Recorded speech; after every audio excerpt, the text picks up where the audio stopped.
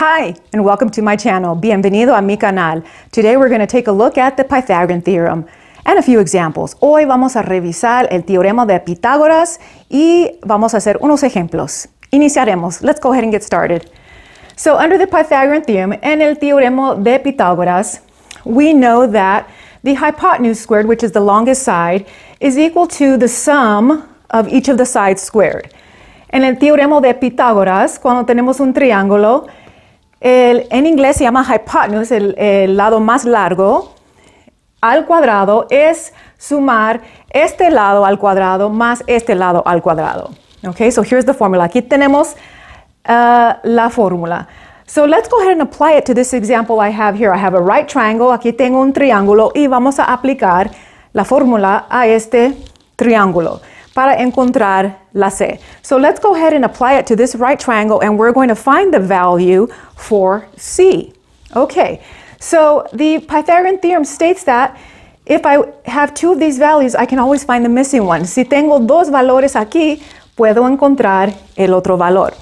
So let's go ahead and use that. So we'll apply this. We'll, vamos a aplicar la fórmula.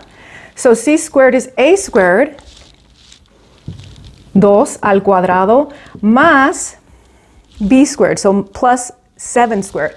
Entonces, 7 al cuadrado. So we have c squared, c al, al cuadrado, 2 al cuadrado son 4, so 2 squared is 4, plus 7 squared, 7 squared is 49. 7 al cuadrado vale 49. So now we have 4 plus 49. c squared is 4 plus 49. Uh, 4 más 49 son 53. So 53 is 4 plus 49. And now, what we have to do, we don't want the answer for c, squared. No queremos una respuesta uh, con c al cuadrado. Queremos resolver por c. So since we want to solve for c, we don't want to solve for c squared. What we have to do is take the square root. Tenemos que llevar la raíz cuadrada de los, de los valores. So whatever we do to one side, we do to the other. And whenever we take the square root of a value that's squared, the value drops out. So we just have c. Entonces llevamos la raíz cuadrada del c al cuadrado, y eso vale c. And the square root of 53, we're going to leave it as the square root of 53. Y la raíz cuadrada de 54 lo vamos a dejar así en vez de uh, convertirlo a un decimal. So now we have the square root of 53 is equal to c, and that's our value here. Entonces resolvemos por el lado más largo en el triángulo. En inglés se llama hypotenuse. So now we've solved for the hypotenuse value and that value is 53, square root of 53. So let's take a look at one more example. And let's say I have this triangle. ¿Qué tal si tengo esta, este triángulo? Y bueno, this side is 7, la C vale 7.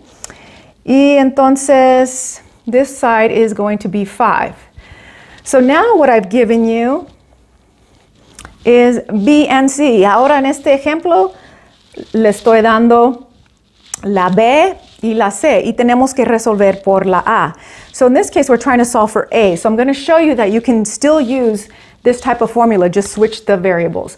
Podemos usar esta fórmula, y, pero vamos a cambiar la A por la B. So um, let me show you how that works. So if in my formula, la fórmula A squared plus B squared, si llevamos la b al cuadrado al otro lado, so if we subtract, vamos a restar la b al cuadrado y tenemos c al cuadrado menos la b al cuadrado vale o es la e a al cuadrado. So now we can see that c squared minus b squared equals a squared. Simply very similar to this equation. Okay?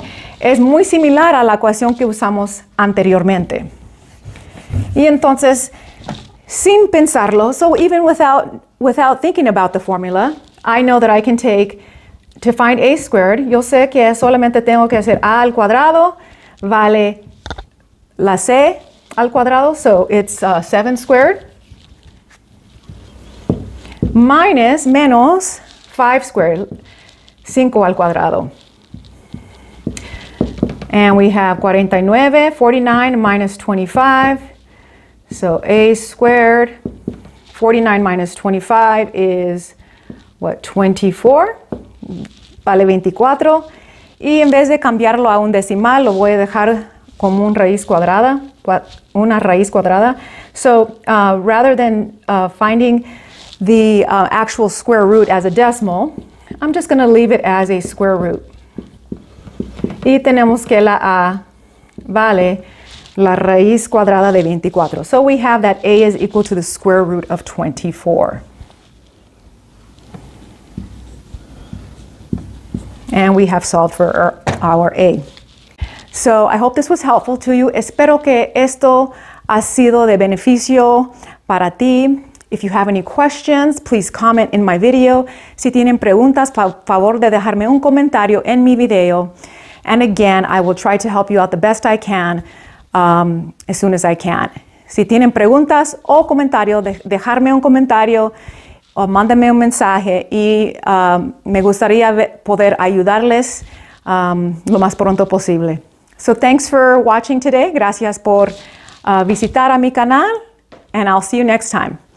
Hasta pronto, nos vemos. Gracias.